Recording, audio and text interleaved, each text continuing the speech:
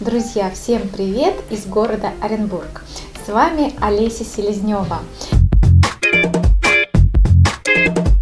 И я хочу вас обрадовать тем, что мы записываем первое видео из нашего офиса, которое открыли мы три дня назад а, в городе Оренбург. Связи с этим у нас а, начинается очень полезная и качественная рубрика на моем канале. Кто не подписан, подписывайтесь, будет очень много интересного и полезного, где мы будем разбирать те вопросы, с которыми вы встречаетесь в ходе работы. И вот сегодня я хотела бы коснуться очень важного вопроса, как правильно начать работать а, с клиентом, либо партнером, который присоединился в компанию Armel. Потому что очень часто, когда к нам присоединяется человек, мы за него держимся, дрожим, дышим на него, молимся на него и готовы часть работы взять на себя. Согласитесь, такое бывает. Но вместе с тем, как растет наша команда, растет наш бизнес, мы уже чисто физически не можем выполнять какие-то технические вопросы и перекладываем это на человека, а человек в недоумении, он говорит, а почему раньше было так, а сейчас вот так? Что-то нечисто и начинают искать подвохи в бизнесе, не доверять вам, портятся ваши отношения, а сетевой бизнес это в первую очередь, не забываем, друзья, бизнес отношений, поэтому очень важно грамотно сразу выстраивать правильные партнерские, бизнес-партнерские отношения. А как же объяснить да, человеку, чтобы не возникло таких трудностей? А, смотрите, мы все приходим в бизнес – а, бизнес собственный, и нам в этом бизнесе никто не обязан. Итак, давайте с вами разберемся, как же нам правильно выстраивать отношения с новичком а, для того, чтобы не возникло таких вот недоверительных отношений. А мы с вами пришли в бизнес, и у нас есть два варианта сценария. Первый вариант, мы пришли с вами зарабатывать деньги, и у нас есть наши с вами клиенты. Поэтому первый пункт – это мой клиент, да, мой клиент.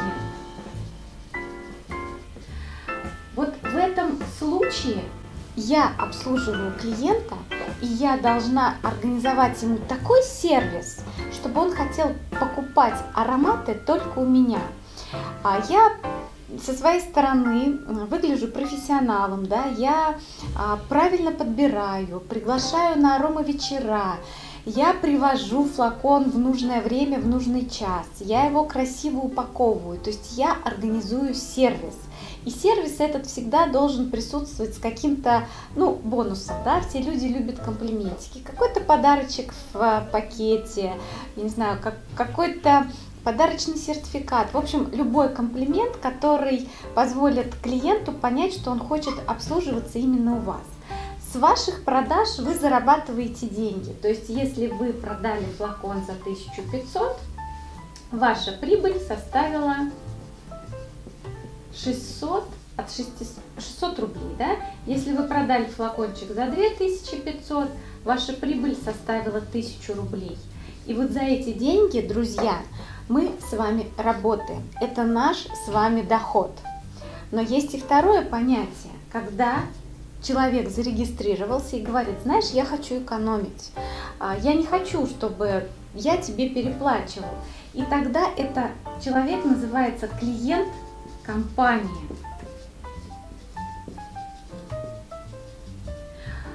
Он регистрируется в компанию за 100 рублей на 3 месяца. Для того, чтобы попробовать продукт, понять, что за компания и хочет ли он в дальнейшем напрямую сотрудничать с компанией Армель.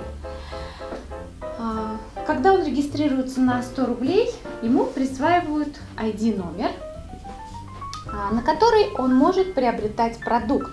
И здесь человек должен понимать, что я уже работаю не с конкретным человеком, а с компанией. И третий вариант – это дистрибьютор компании. Дистрибьютор компании.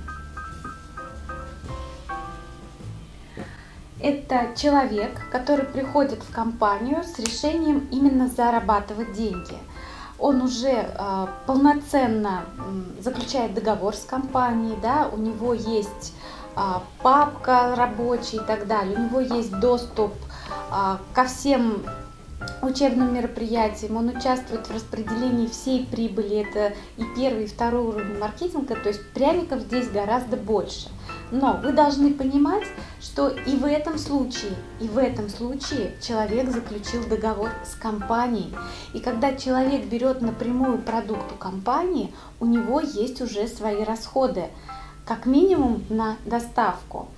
А, мы можем брать товар с основных складов компании, мы можем пользоваться услугами мини-складов. В любом случае вы, как человек, заключивший договор, должны просчитать свою выгоду, да, просчитать, насколько вам эффективно, быстро, дешево использовать тот или иной склад. И это вы должны сделать сами, потому что вы хозяин своего бизнеса. Даже если вы клиент, то вы все равно любите экономить, да, и вы просчитываете для себя свою выгоду. А, поэтому изначально, если вы, да, человек-наставник, который пригласил человека, вы должны эту схемку ему объяснить. Бывает, конечно, так, что вы уже начали бизнес и уже допустили эту ошибку. Как быть в такой ситуации, да? Но на самом деле а, ничего страшного. Мы все с вами люди, мы все с вами можем а, совершать, да, как говорят, наступать на чьи-то уже грабли, но иногда нужно наступить и на свои, да, чтобы дальше знать, а, как действовать правильно. Поэтому нужно просто с человеком а взять, созвониться, встретиться, ни в коем случае не в переписке, а именно должен быть такой, скажем, ну, более близкий телесный контакт, где вы человеку просто объясните. Либо вы можете сказать, что, знаешь, я достаточно новичок в системе, и вот, ну, стала делать что-то неправильное. И понимаешь, вот эти вот расходы, они лежат сейчас на мне. То есть, получается, часть твоих расходов я оплачиваю сама. Поэтому встретились, пообщались с человеком, объяснили ситуацию. Если человек действительно хочет пользоваться продуктом, если человек действительно хочет а, зарабатывать в этом бизнесе, он вас поймет. Если нет, ну значит это просто не ваш человек, вы с ним не установили вот достаточно тесную связь. Просто новых людей мы запускаем правильно, не совершая эту ошибку. Ну что ж, я надеюсь, что я была вам очень полезна, и мы сегодня рассмотрели одну из важных тем, как не совершить ошибки, которые приведут не к тому результату, который мы запланировали. С вами была Олеся Селезнева. Подписывайтесь на мой канал, если вы не подписаны. Также теперь а, вам доступна подписка на мой инстаграм, где тоже будет очень много видеотрансляций, поэтому обязательно заходи, подписывайся на мой аккаунт, который ты найдешь ниже под этим видео. Всем удачи, всем пока-пока! Если вам понравилось просмотренное видео, ставь лайк и подписывайся на канал. Также, чтобы просмотреть другие интересные видео, кликайте по ссылке на экране.